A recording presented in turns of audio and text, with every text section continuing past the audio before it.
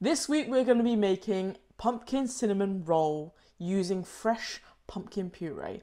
Now this is a take on your classic cinnamon roll, but I just feel like you can do so much with like the pumpkin puree that we made in last week's series that this week I just think that that, that we can just take that classic dish and just amplify it. Let's crack on with the dough. Okay, so it's a fairly straightforward dough mixture. Uh, we're combining the wet ingredient, so that is the milk and the butter. You want to heat up the milk up to around about 60 degrees and then add the butter to melt. Now you reduce that temperature to around about 36 degrees to avoid killing the yeast. Then add the egg in with the milk in combination to form your dough. Now the dough should be slightly soft and sticky. You're working with a very rich dough here. It's not like your normal bread dough and you're basically working it and kneading it for around about 10 minutes. And the ideal world is is that you shouldn't add too much flour to your surface. Now the trick is is if your dough is still sticky you haven't kneaded it enough. And the idea is to work in that gluten without breaking up the structures. Um, and then we're going to be resting it for 10 minutes because this is only a one proof recipe. You can of course proof it twice. I'll leave that option up to you guys now, the focus is the pumpkin butter.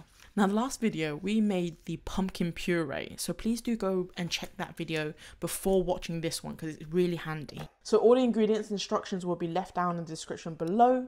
And of course, if there's anything that I've used in particular this video or the next few videos, will always be in the description. So, please do take, please do take, please do check the description down below. And finally, if there is any other spin-offs or any other sort of ingredients that I'm missing or want to add into this recipe or you want to, you know, or you want to let me know, please do comments down below. I do request as it will help me out so much for you guys to like this video, leave a comment down below, click on the bell and press obviously subscribe. It tends to be super helpful to know if whether this video is the kind of content that you guys like. Apologies for the interruptions from the past me, however we're going to focus on the pumpkin butter now. Now reduce the pumpkin to remove any excess liquid and then you're going to be seasoning it with all your favourite spices, whether that's allspice, cinnamon, cardamom, cumin, whatever it is, and then you're going to be adding condensed milk to make it oh, wow, very buttery. So and this is what you're going to be adding into your cinnamon roll. Now you should find that the pumpkin butter should hold itself on its own and it's very thick and luscious and when it cools down it will thicken even more. Now to focus on the dough, now the dough should have been resting for around about 10 to 20 minutes depending on how long it took to make the pumpkin butter. Now you're just rolling it out and spreading out a thin layer of the paste. You will find that this will go a long way and you can see how thick and luxurious this is and honestly you can add this to anything even to your toast. It's so delicious uh, on its own as well. Now, I just want to make a focus that I don't actually care about borders, so I will spread this right to the edge.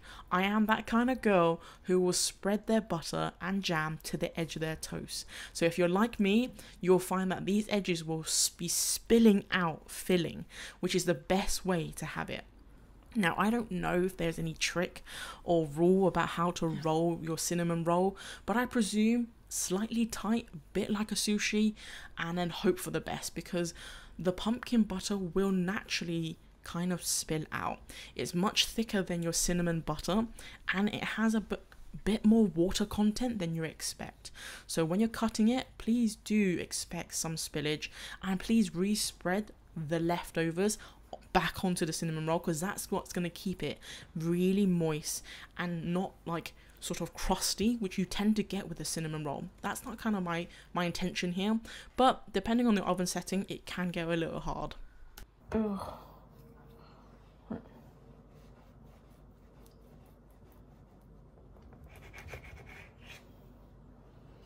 Oh, it's a squidgy one.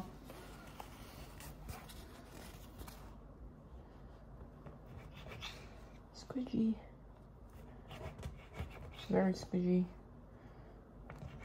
extremely.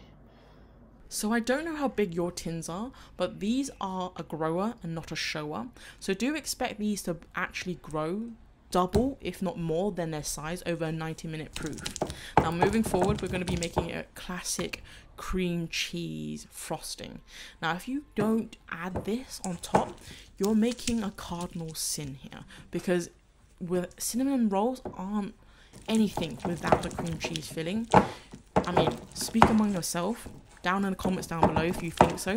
Now, whilst I'm making the frosting for the cinnamon roll, I would like you guys, if you have come this far, please comment down below the pie emoji for a pumpkin pie for this current season. Now, I have loved and enjoyed so many of you guys commenting that in the previous video.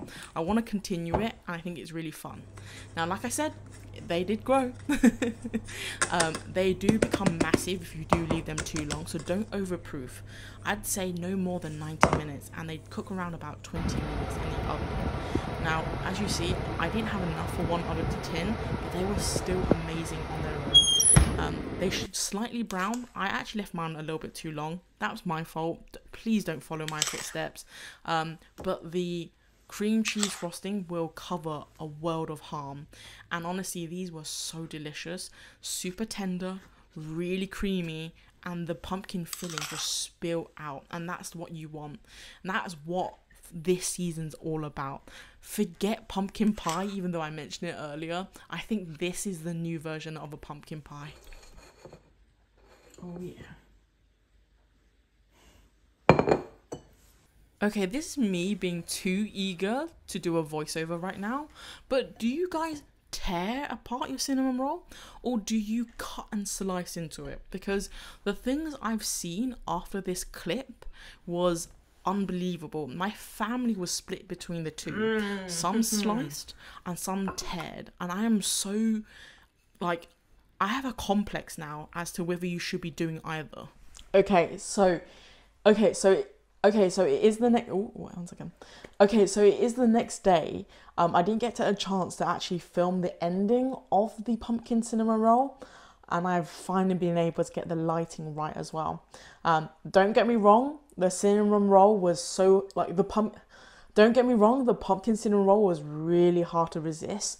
The whole house smelled so good because of the cardamom, the cinnamon, the spice, the pumpkin. Oh, it's just so good. And once I made the cream cheese like icing on top, oh, it was so hard to resist, but I, I literally had to lock it away. And now I finally cut myself a slice. That is actually missing one of its rolls, funny enough. But um I don't know how to like film this. Okay, so here it is and it's all in its well actually no. This is it all in all its glory. So good. Look at this. Proper like American style cinnamon roll as well. They are like at least two inches thick. They're so super super tall. Like this is a this is a very tall bowl already. This is like typically a pasta or soup bowl, but like this is a very tall bun. It looks so good. I can't even explain to you how good the pumpkin looks through the actual thing. So you will be able to see it there. The paste did really well. It acted what we wanted to do. Replace the butter, replace the cinnamon and sugar with the pumpkin paste and the actual seasoning and the um, condensed milk. And it just, it did such a good job. I can't explain to you like how excited. Also look how soft the bread is. That's how you know we did really well in, oh, and it's a little bit cakey as well. You know how well you did in terms of the, um, you know how well you've done when you've actually kneaded it and proofed it the right amount of time. Mmm. Big chunk of pumpkin there. Oh yeah. Mm. Oh yeah. Now, not to continue to sound like Winston Churchill, or the English Bulldog Winston Churchill. It's so good. It's so worth to try. Honestly, this is like one of the first recipes that I've worked with pumpkin. I don't really, I don't use pumpkin that much. Now, when I say we don't use it, I just mean in, in terms of the sweet rather than the savory. To traditional dishes in Vietnamese and Chinese, typically you eat them as a stir fry or like a, like you put it into your soups and stuff like that is so nice. And honestly, the pumpkin paste works so well as well. Perfectly sweet, like Asian sweet, not obviously like what I mean like like sugary sweet. It's like the perfect balance. As always, guys, I leave all the instructions and the ingredients down listed down below. If you have come this far, please leave me a Halloween emoji. And please comment and like and subscribe and click on the bell for more of this sort of for more this sort of content. I love interacting with you guys, so please do drop a comment down below. The next episode will be us making. Um, the next episode we're gonna be making pumpkin bolo bao or pumpkin pineapple bun. It's a traditional Hong Kong. It's a tradition. It's a traditional Hong Kong bun, but we're gonna start. It's a traditional Hong Kong bun, but there's gonna be a slight twist to it. There's gonna be a pumpkin butter paste inside. Similar thing that we use for the cinnamon roll, but we're gonna be putting it inside the bun, and it's gonna like when we break it apart, it's gonna have that sort of lovely biscuit shell with the bun inside and the filling and it's gonna look so good. I can't wait now. Now, please do check out the previous episode. I know I'm, I'm making you guys do a lot of work here, but previous episode we did the pumpkin puree and the roasted seeds. Always nice classic basic stuff so you can do. It's really quick and almost barely any effort really. It's a great way to use up all your Halloween pumpkins, especially if you are carving this year, or if you're just buying it because you really just want to try out those recipes.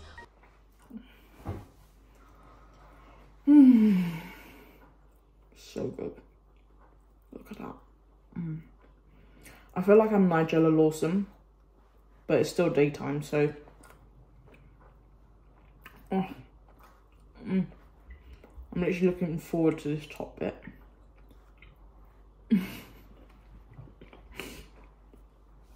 oh yeah, that's so good.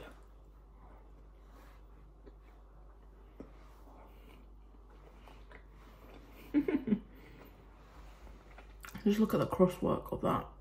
Whoa.